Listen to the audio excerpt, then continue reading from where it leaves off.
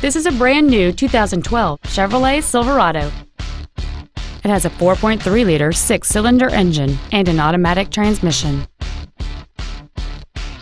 Its top features include a passenger side vanity mirror, a low tire pressure indicator, traction control and stability control systems, an anti-lock braking system, a passenger side airbag, and cruise control. Stop by today and test drive this automobile for yourself. Miami Lakes Auto Mall is located at 16600 Northwest 57th Avenue in Miami Lakes.